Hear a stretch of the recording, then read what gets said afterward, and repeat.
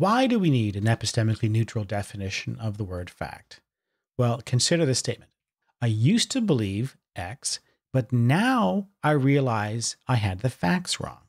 This is not an unusual expression.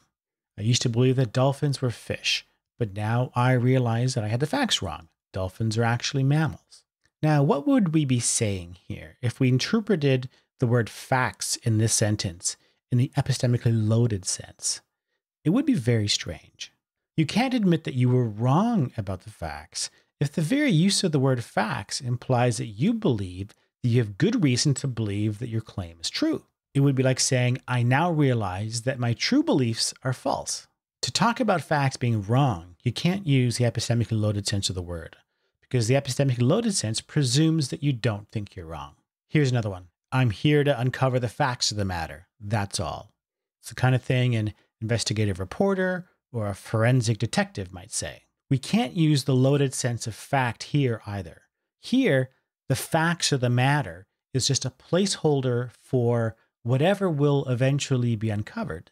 You can't interpret the facts in this sentence as beliefs that a community believes are so well supported by the evidence that it would be rational to change them, because there are no such beliefs yet. Uh, they have yet to be discovered. We can make the same point another way. We may not know whether there is life on other planets, but there is some fact of the matter about this question. Either there is or there isn't. How is this expression, fact of the matter, being used here? Well, not in the epistemically loaded sense. We're admitting that we don't know which of these options is going to turn out to be true. The expression doesn't imply anything about the epistemic status of the claim. Again, it's just a placeholder for whatever the truth turns out to be. And this is the key to the epistemically neutral definition of the word fact. Sometimes we use the word fact to simply describe a true claim. To say X is a fact is just to say that X is true. That's it. And this is an epistemically neutral usage of the word. It doesn't imply anything about the epistemic status of the claim. So, just to be clear, to say that X is true is not to say that we have good reason to believe that X is true, or even that anyone believes that X is true. Maybe no one believes that X is true. It could still be the case that X is in fact true. So let's look at how this reading helps with our examples. I used to believe X, but now I realize I had the facts wrong.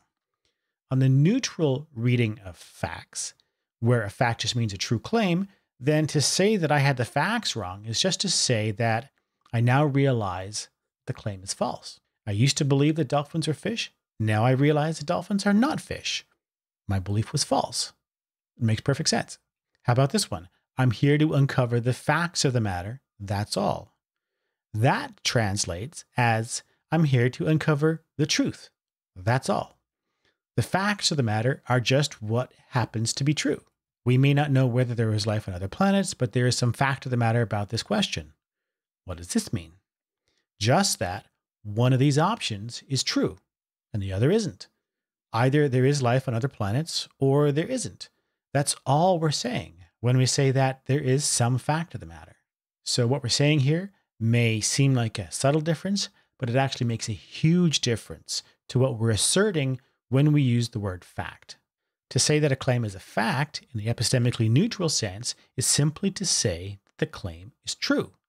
To say that a claim is a fact in the epistemically loaded sense is to say that the claim is believed to be true within a particular community and believed in such a way that within that community it would be regarded as irrational to challenge it or doubt it. But it's a crucial distinction for science because we need a term in our scientific vocabulary and in our critical thinking vocabulary for talking about our beliefs about the world and distinguishing that from talking about the way the world actually is, independent of our beliefs.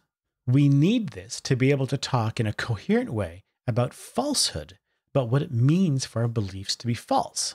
Now, in the next video, I want to clear up a common misconception about the way we use the term fact in science.